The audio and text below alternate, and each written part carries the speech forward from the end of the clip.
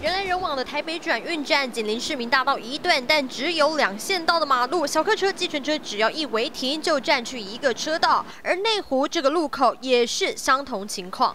在北市内湖这个路段呢，可以看到呢，旁边呢就是这个公车停等站，再加上这里是美食一级站区，因此呢，北市交通局也在这个地方设置了科技执法。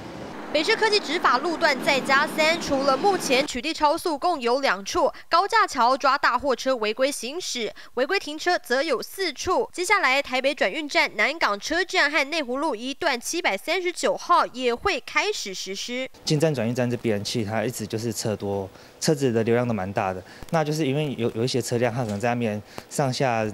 上下客的关系，所以就造成说会造成后面的车流的回堵。对，透过车牌辨识系统，一旦发现车辆停车超过三分钟，就会自动执行违规搜证。汽机车违停最高可开罚一千两百元。镜头转到彰化台六十一线彰化鹿港洋厝匝道到深港匝道区间测速，三月一号也要重新开罚。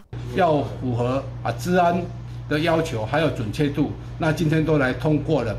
这路段两年前曾启用区间测速，但是隔年四月被抓包时间不准，撤销三千多张罚单。现在警方出示检验证明，表示通过检核，三月一号开始开单。透过科技天眼，要协助警方抓违规。八大新闻综合报道。民生八方式尽在一小时，要订阅，不要忘记要按小铃铛哦。